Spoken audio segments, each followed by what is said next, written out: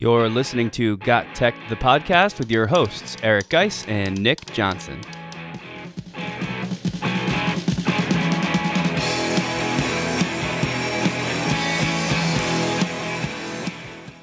Welcome back to Got Tech, the podcast. This is episode 127 called The 12 Days of Ed Tech. In this episode, we'll give some sneak peeks into our upcoming release of the 12 Days of Ed Tech for the year 2022. This is another episode you don't want to miss. Check it out.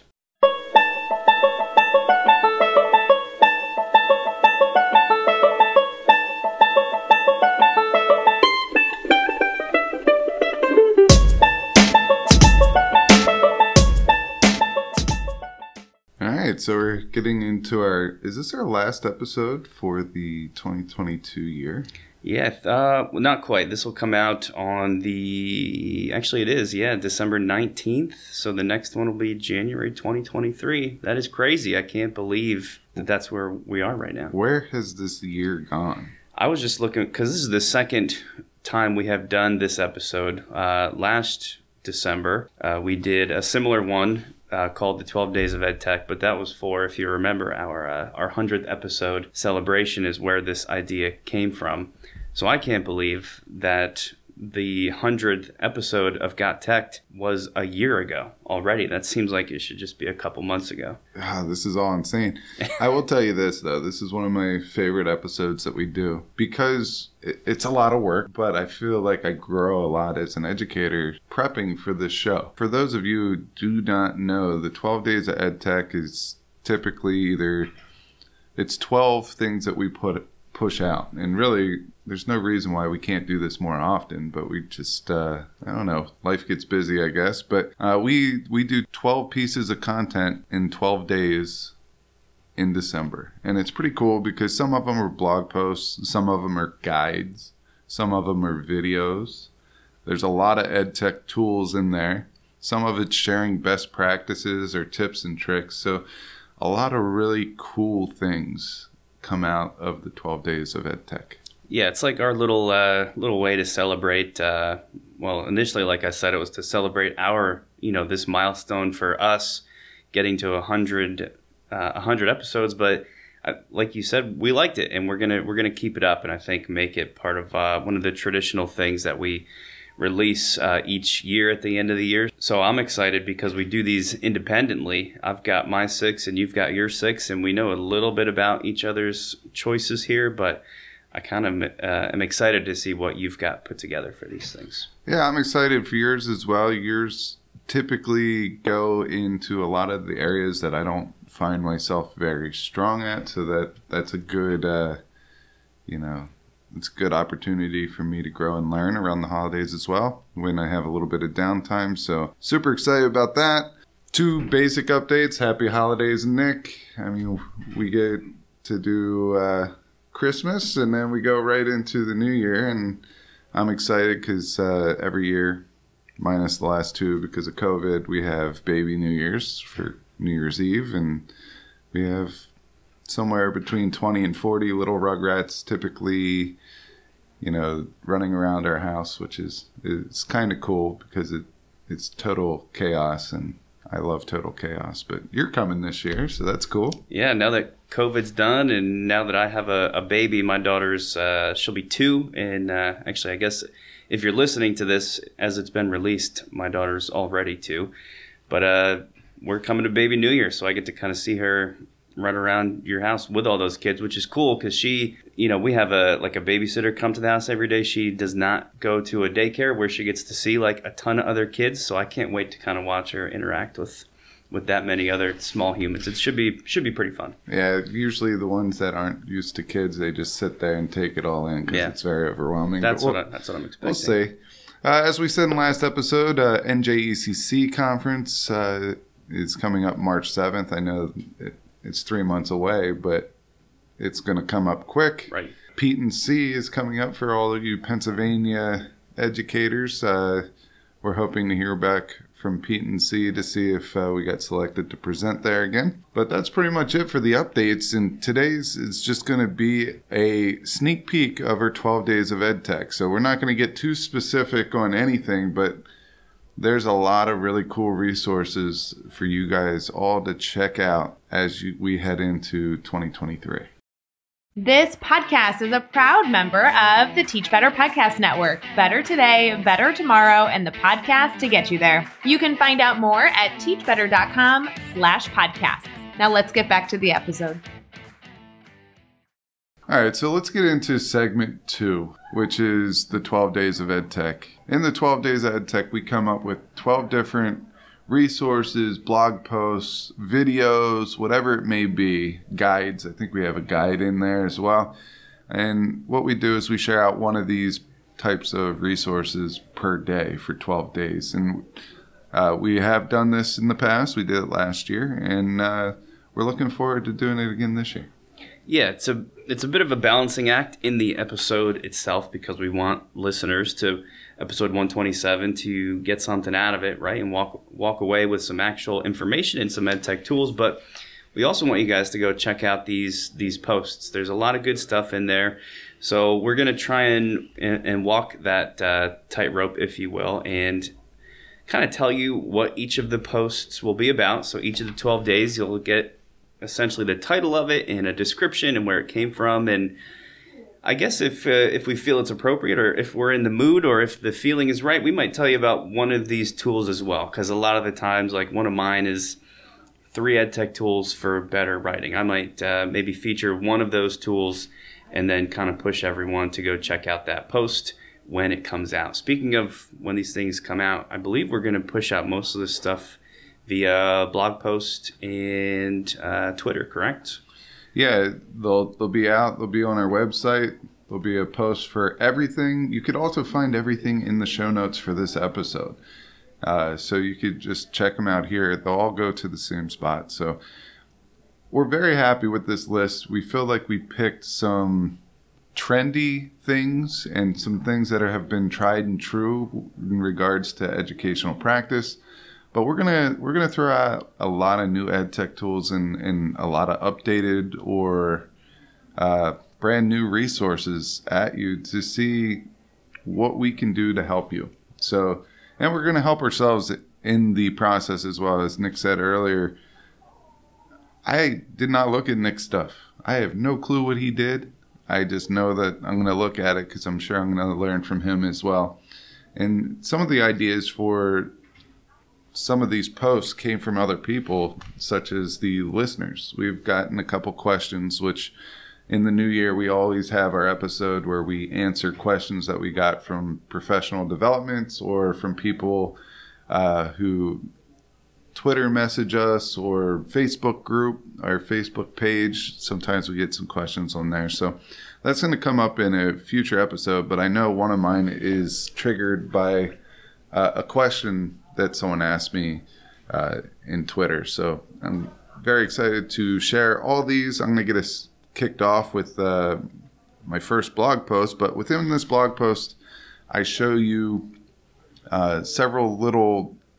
I would say that they're gifts, but they're not gifts because they're like 15 to 20 seconds.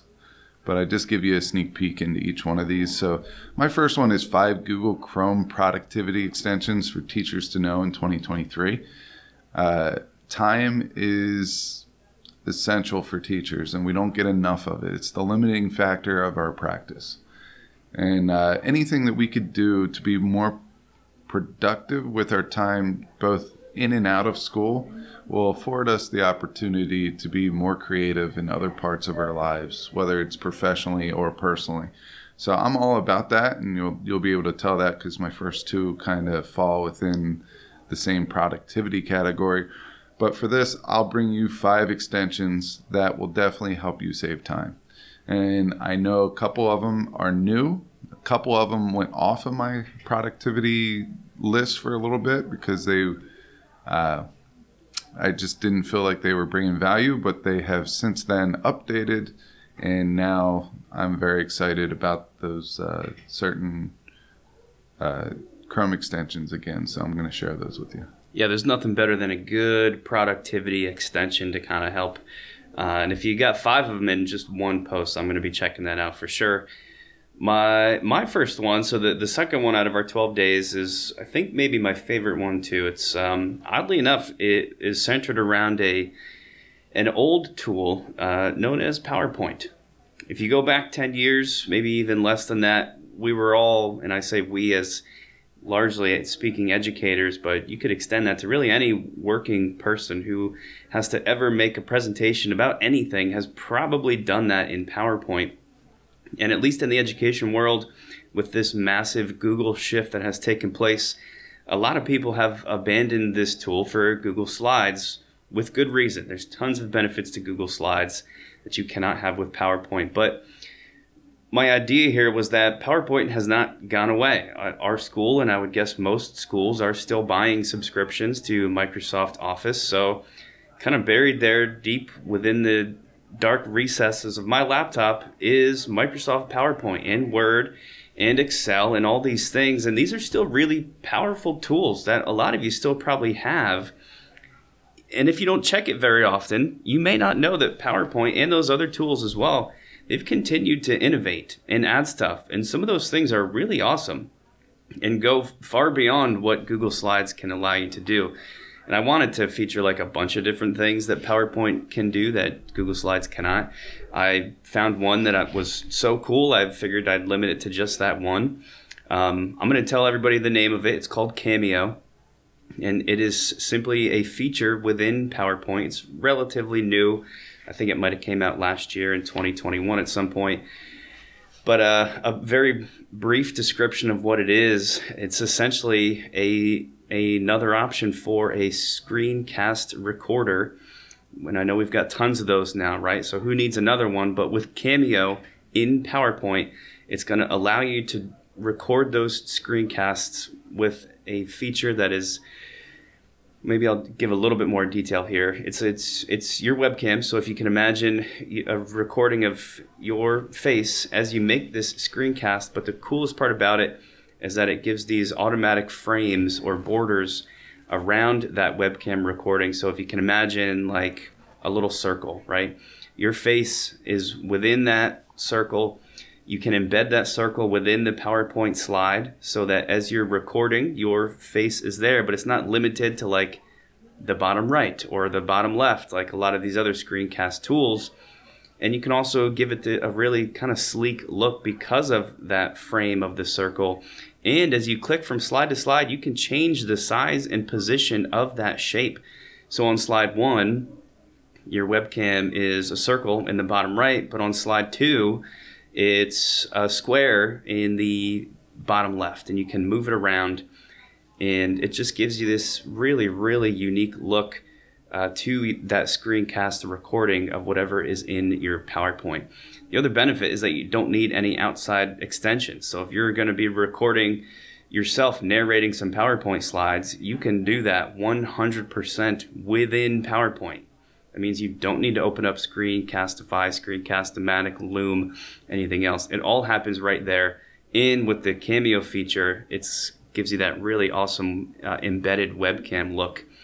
And it's just something that you're not gonna not gonna get uh, with any of the other screencast tools. So that pretty much describes what it is. If you do check out the 12 days post, you'll kind of see me walk through how to do it. There's some other neat like transitional effects that you can use to take that to the next level from when you try this. But I strongly encourage everyone to just check out some of these Microsoft tools that are still there and still have some really great things to offer. I'm really glad that you went into a little bit more depth with this one because we often are so Google focused uh, right. that we miss some of these gems and and this one is awesome. As he said, you could change the shape, but you could change the size, you could change the position on the slide. And how many times have we had our face in front of content that was important to our screencast. Right. And to be able to move it as you transition the slide, it will transition from one spot to the next. So it's almost seamlessly getting out of the way, which is awesome. All right, so let's go into day three of the 12 days of EdTech. Uh, this is my second one. This one's also on productivity, but these are just Google Chrome productivity hacks to know in 2023. And there's five of these, and some of them I'm very excited. I use these every single day. So they are probably not, well, they're definitely not new to me. One is, one was. I found one. Uh, and I'll share that one in a second because it's kind of counterproductive, but productive in the same way. And I'm going to have to explain myself on that. But yeah, so it is pretty cool. Um, but all these productivity hacks will save you some time. And as we say with every single episode that we do, we often share multiple resources over a couple episodes that kind of overlap. And the reason why we do that is you should be able to pick the functionality of a tool that you want. And then you should have options so you could choose which one will best suit your needs.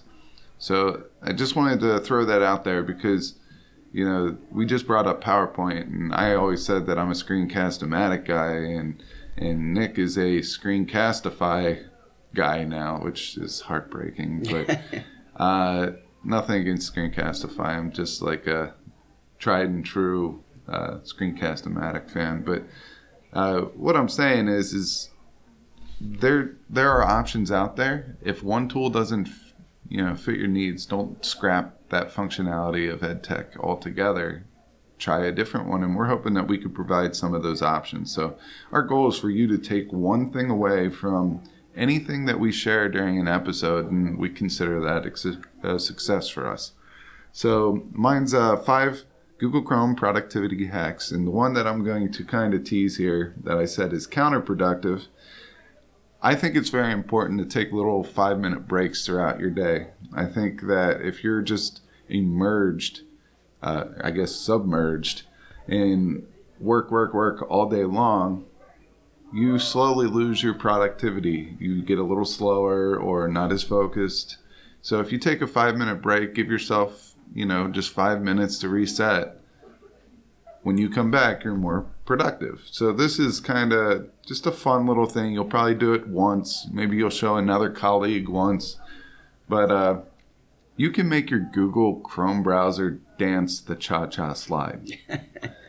All right, so you go to any search bar and you type in cha cha slide, and on the right, top right side, it's going to have a microphone. If you click on the microphone, when the cha cha slide lyric says move to the left, your browser goes to the left. Move to the right, it goes to the right. When it says cha cha slide now, it's going to do its version of the cha cha slide. It makes me laugh. I've done it a couple times. I probably will never do it again after that. But it gave me my 30 seconds of, ah, oh, okay, this is mindless.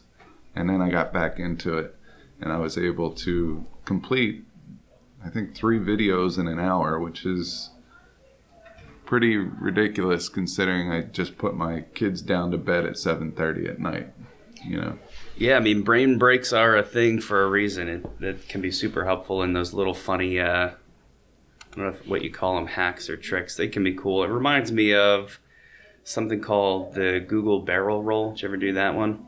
No. It's like, I can't remember what it is, but just you saying now made me think of it.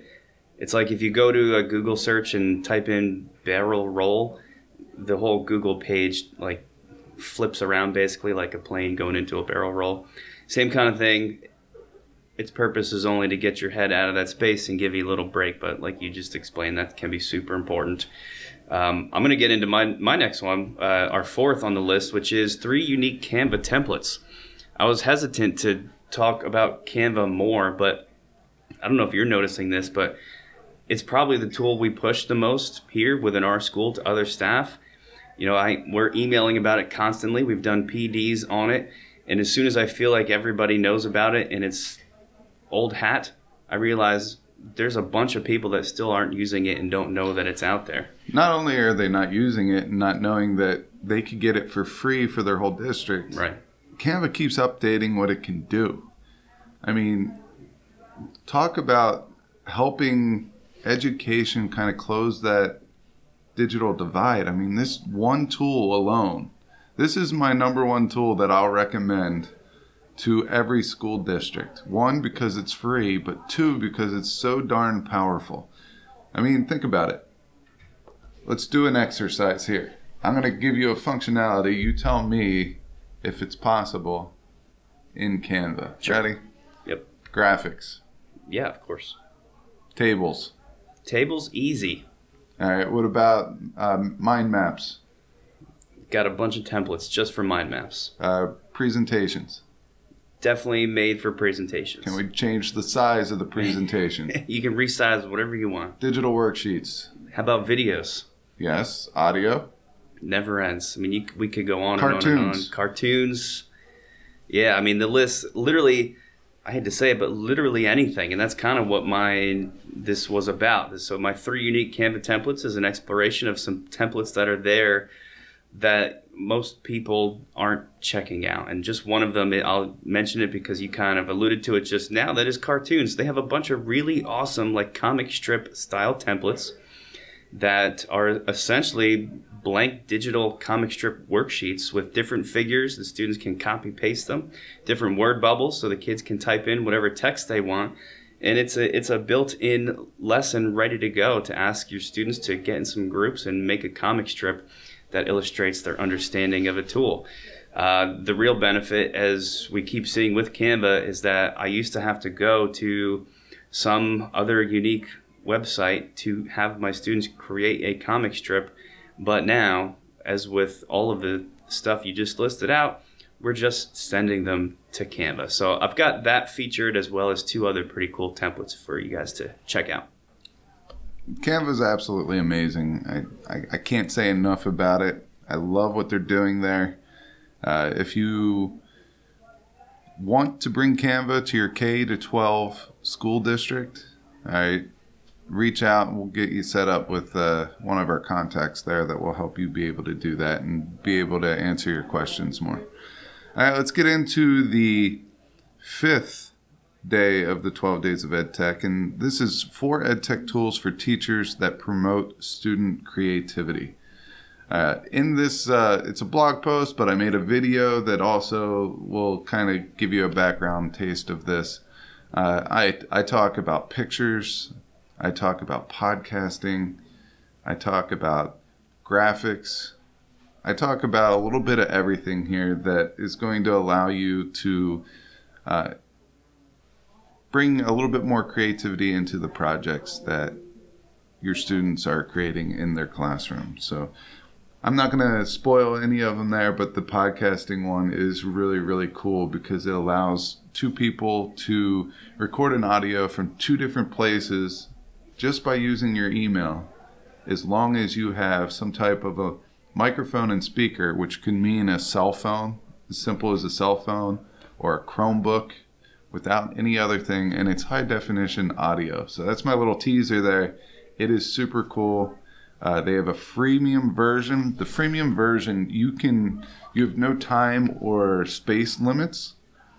Uh, you just get the basic editing tools. So there's really nothing that you really need to purchase there. They they can work with everything there, and then we can give you a couple other editing tools uh, if you go into our podcasting guide or some of our previous posts, you could see some of the editing tools for audio, and you could just app smash those two together and get the best of both worlds. All right, so I don't I don't actually know what you're talking about right now, but I do know it sounds super interesting. So I can't wait for uh, 12 days of ed tech number five. That sounds awesome.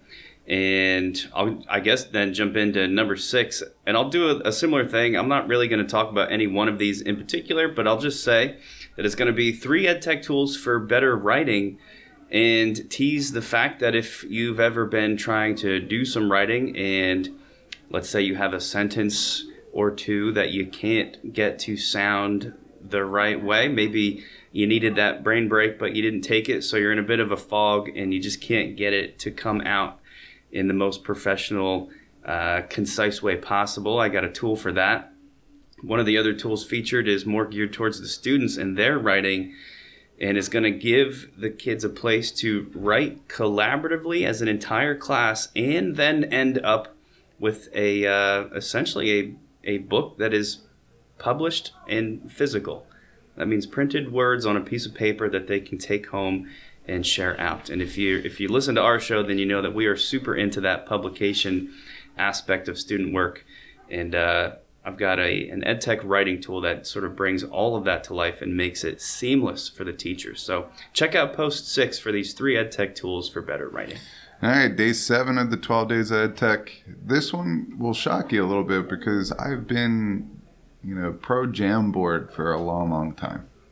Uh, I mean, teaching AP Bio through uh, remote learning, I was jam Jamboard almost every single day. And I just liked the ease of use and everything. But there are things about Jamboard I didn't like what kept getting me is the fact that you could only have 20 boards or 20 Jamboards or whatever it is, 20 slides uh, per Jamboard. And I always had 24 kids. So, I mean, I always had to make two copies of a Jamboard, which was frustrating. There are some other things with uh, the limitations that you have as far as being able to annotate and, you know, things like that. But my next post, and it's a video as well, is. Uh, why Canva is my new Jamboard. And I think this one might be the coolest one that I've done this year. And the only reason why I'm saying that is is because a lot of people do not know that Canva is a collaborative space, a lot like Google now. They're getting more uh, innovative with their collaboration abilities with the students, and they're trying to make this process very, very easy.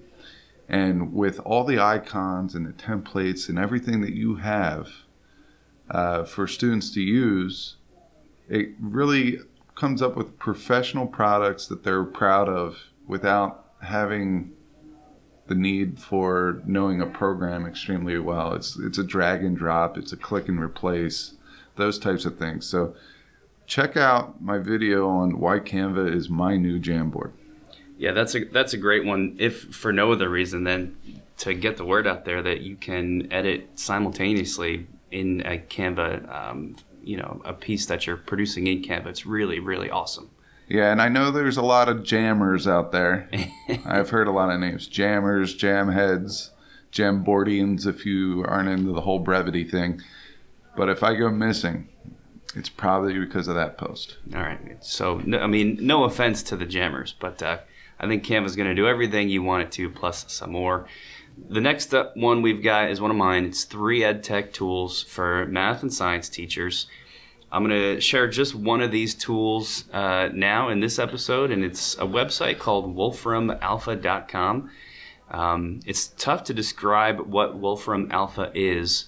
Um, you know, I would describe it as a kind of like a search engine but more of a like a computational search engine in that the things you search are often questions that can be solved with with data and this will make more sense when I give some examples um, but really if you I mean, the best way to get it is to head to wolframalpha.com if you go there there's a little search bar but the, the main stuff you're going to want to check out is beneath that where it's got four categories math science and tech society and culture, and everyday life, where you can find things like in the math category, one of the little buttons you can click is, let's just say, geometry.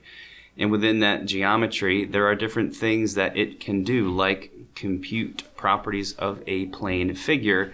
And as you do that, if you were a geometry student, you could click on that and type in different values of different shapes uh, like inner radius, outer radius of a circle, and it's going to automatically compute and give you visuals of what that circle looks like in terms of its area and its um, the uh, perimeter of the circle and all this other mathematical information.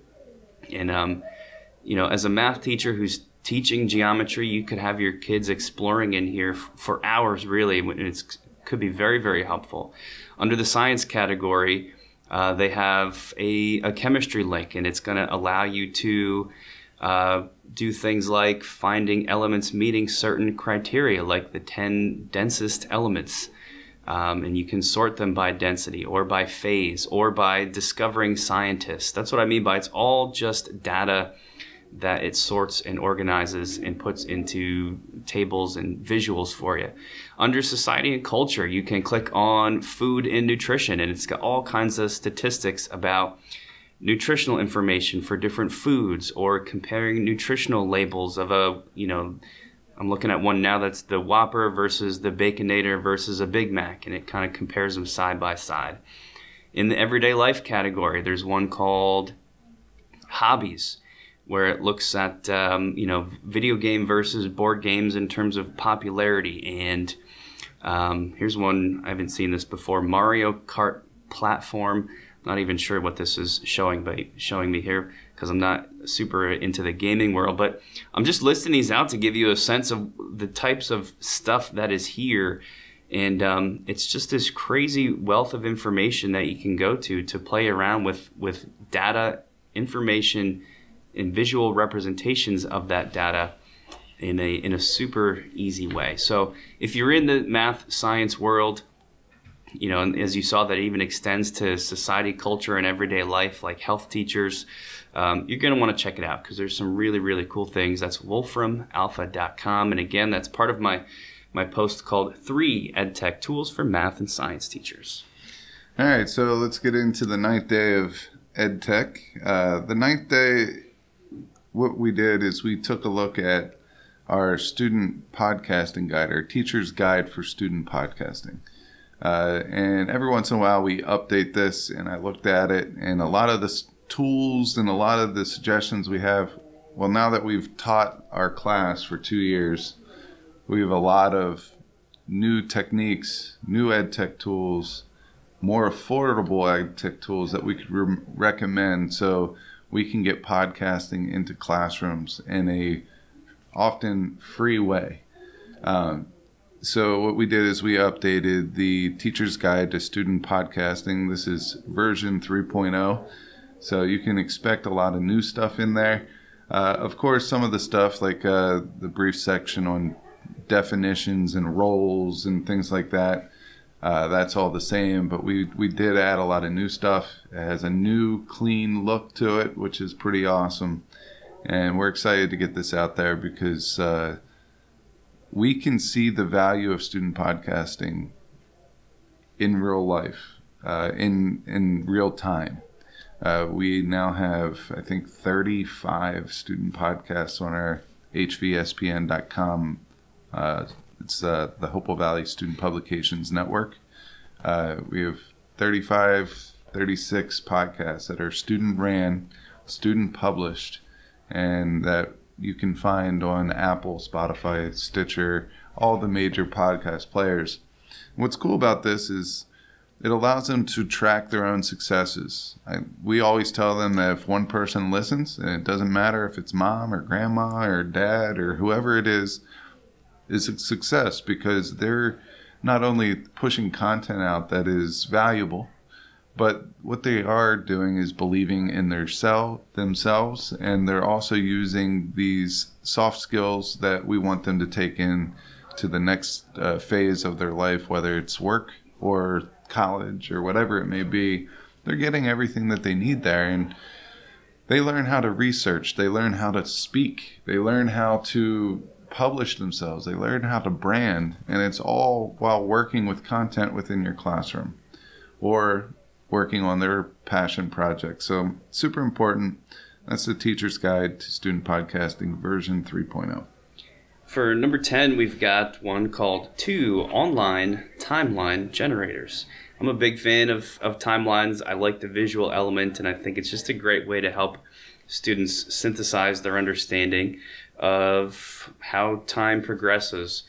And there's some really awesome tools to make these things via the internet and some websites devoted to it. In this in this post, I'm going to feature two of those.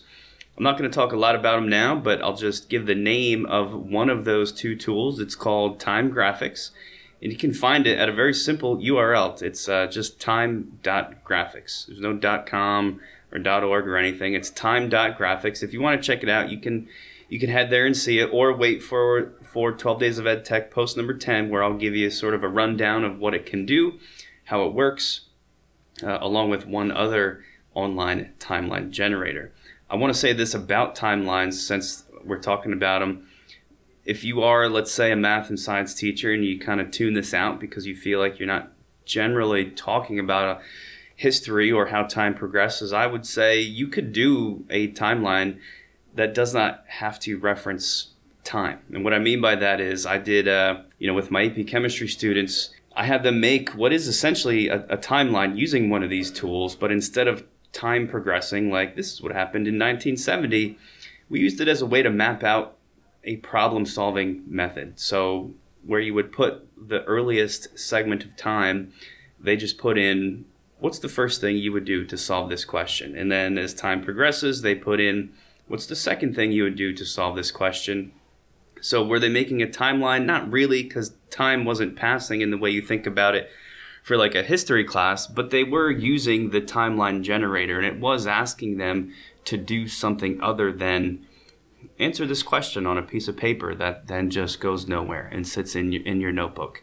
And it was a really helpful thing. So you might want to check out some timeline generators, even if you think you aren't necessarily teaching something related to history and time. I love when we find ways to use EdTech tools that have nothing to do with its main purpose. And, and that, that is a solid example there. All right, so we'll get in. I believe this is my last one. It's the 11th day of the 12 days of EdTech. Uh, this is going to be three activities that use narrative to capture the interest of students. I am huge, like one of my favorite things about teaching is having students understand teaching through narrative, learning through narrative. So the one of the ones that I'm going to share, and this is something that I kind of outlined. I have not actually completed this one yet. It's the only one I have not completed. but I'm going to talk about how graphs can tell stories. All right, so I brought up graph a day before, um, but you could also use pictures.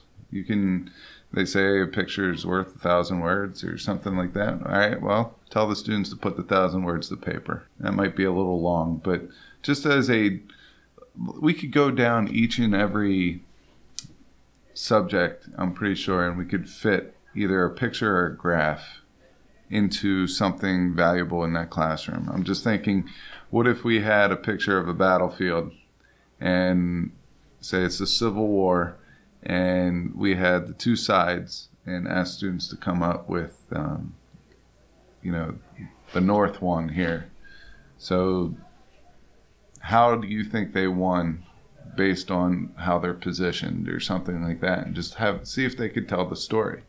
Uh, that would be valuable. Science, you could give a picture of a process and have them explain the steps or the different parts of that process. In English, you could just have a picture of the Renaissance and tell them to come up with, you know, some type of uh, a mystery or a character development or a plot development based on that picture. Uh, in a music class, you can have a picture of sheet music, and you could say, okay, what can you, what would be a logical melody to go with this this uh, sheet music that would work? How would you know that? You know, just questions based off of that, and put that into a narrative. Uh, world language. Once again, you could have a picture and tell them, all right, you have the next 30 seconds to successfully spell as many things in this picture as possible and see who comes up with the most. Or you could place categories from that. So there are a lot of things that you can do uh, with pictures uh, and put them into narrative form. And the narrative might just be the instructions. So I know with the world language example, I said, here's a picture, have them write down as many that they could come up with in 10 seconds. And then tell them, use the those words that you made in 10 seconds and put that into a narrative or something that rhymes or whatever it may be. But narrative is a huge part of learning, and it's something that I'm pretty uh, excited to share. Yeah, we we talk about it from time to time, but we should probably give narrative more attention. I mean, it can be as simple as, you know, I, I keep going to stuff that I've done recently in my class, but I was trying to think of a more creative way to have my chem students solve a a stoichiometry problem. And if you don't know stoichiometry, which chances are good you don't, because who does besides chem students and chem teachers? But the idea is, if you had a certain amount of chemical A, let's say 100 grams you could use this problem solving method to figure out how much chemical B you need to react with chemical A. So if I have 100 grams of chemical A, I'm going to need 200 grams of chemical B. That's what stoichiometry lets you do. And it can be very dry because they're just writing out this, this calculation on a piece of paper. But with narrative, and what I ended up doing was I, I, I have a friend named Tim who is a project manager for a company that cleans up uh, environmental spills. So he gets a, a, site that has some sort of chemical that's been spilled in the ground, and he has to manage the cleanup of this chemical. All I did for the narrative was I, I got a picture of, of me and Tim. I put it up on the PowerPoint screen. You should see how focused the students were just seeing me in my normal life with a friend. And then the tie in was this story of, hey guys, here's me and my friend Tim Tim does this real life job where he has to use really the skills that stoichiometry teaches to figure out how he's going to clean up 2,000 tons of this fluorochlorocarbon that got spilled in outside of Pittsburgh. And then using that narrative it I, it really just ties into the kids solving a stoichiometry problem. But it, I mean, the buy-in there is just so powerful. So I'm, I'm glad you brought it up. That's separate from what you were talking about with that post you're going to do for the 12 days, but it's just a really important thing to mention. And um, it doesn't necessarily lead in super smooth to this last one, our final on the 12 days, but I'm going to use it as a lead in anyway because our final post is going to be called Three YouTube Hacks for Teachers. YouTube, like any other Google tool, has all sorts of little tips and tricks, and that's where the term hacks comes in, just ways you can make it more user friendly. And I've chosen three of those that could be particularly helpful to educators. Uh, one out of the three that I just learned about recently, I'm, I'm sure you know this because this is the type of thing that you seem to know and that I end up figuring out like three years later. But this one is if you go to the URL for a YouTube video and you want to share that YouTube video with your students, but not have any advertisements in it. Uh, you know, because sometimes for very popular videos, of course, there's going to be ads, and you might not want those ads to be seen depending on what they are, especially if you're teaching younger kids. Um, if you just go up to the URL and between the letter T and the letter U in tube, if you just type a dash or, or, or a hyphen, technically, and then copy paste that URL with the hyphen into a new tab, it's going to automatically pull up a video player that will show that YouTube video, but without any ads. I don't know how long this has been there. I feel like it's been around for a while, but I just learned about it and I've never heard anyone tell me about it. And that's the type of thing you're going to get in this post of three YouTube hacks for teachers. You hear that sound? that is the sound of minds being blown. did you know that one? I did. Okay. I, damn, I knew you would.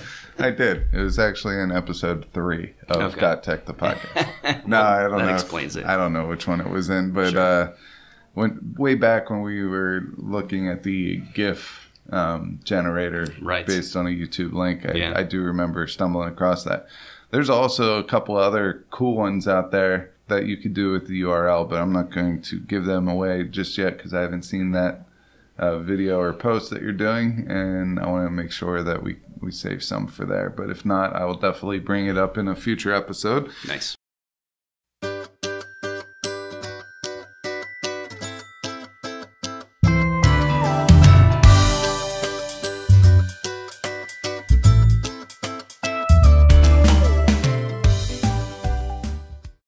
That's going to wrap up this episode of Got Tech the podcast. This is the last one for 2022. Welcome to 2023. Happy New Year, everybody. Uh, in that new year, uh, maybe you should consider doing some New Year's resolutions, and maybe one of those should be, uh, you know, telling people about Got Tech the podcast. Be the sharer of wisdom. All right. And, and one thing you could do is definitely point them to our website, gotteched.com.